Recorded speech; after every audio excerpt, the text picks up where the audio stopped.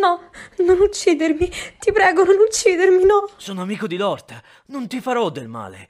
Calmati, è tutto a posto. Deve far molto male, eh? Ora ti curo io. Fidati, sono uno scia... Scia... Scia... Scia... Scia... Scia...